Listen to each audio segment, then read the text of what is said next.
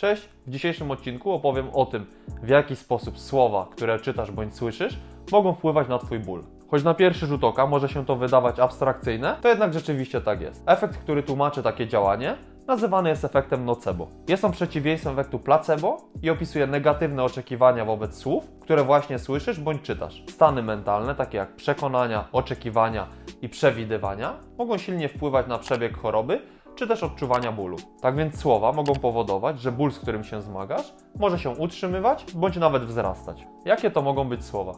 Na przykładzie bólu pleców Sloan i współpracownicy w 2010 roku wykazali, że zwroty takie jak zmiany zwyrodnieniowe, zmiany degeneracyjne, zwężenie przestrzeni międzykręgowej i inne nieprzyjemnie brzmiące określenia były powiązane z gorszym postrzeganiem diagnozy. Błędna interpretacja tych z pozoru strasznych określeń może skutkować katastrofizacją, strachem, unikaniem ruchu oraz niską nadzieją na powrót do zdrowia.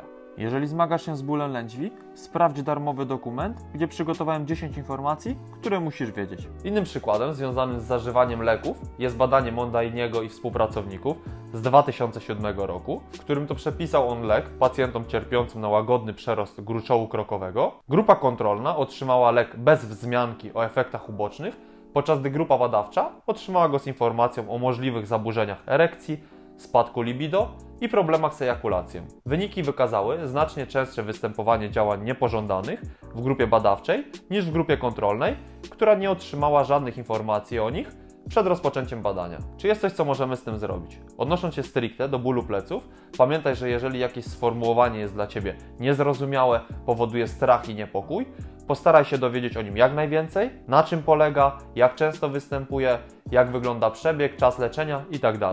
Lepsze zrozumienie danego problemu pomoże Ci o wiele szybciej i efektywnie się z nim uporać. Co więcej, strasznie brzmiące określenia nie zawsze oznaczają problem. Przykładowo, skupione przemieszczanie materiału krążka, czy inaczej mówiąc przepuklina dysku, często występuje również u osób, które w ogóle nie odczuwają bólu. Możesz posłuchać więcej o tym w jednym z ostatnich odcinków na kanale. Na dzisiaj to wszystko, dzięki za obejrzenie do końca. Jeżeli film się podobał, zostaw łapkę w górę, komentarz dla statystyk i do następnego.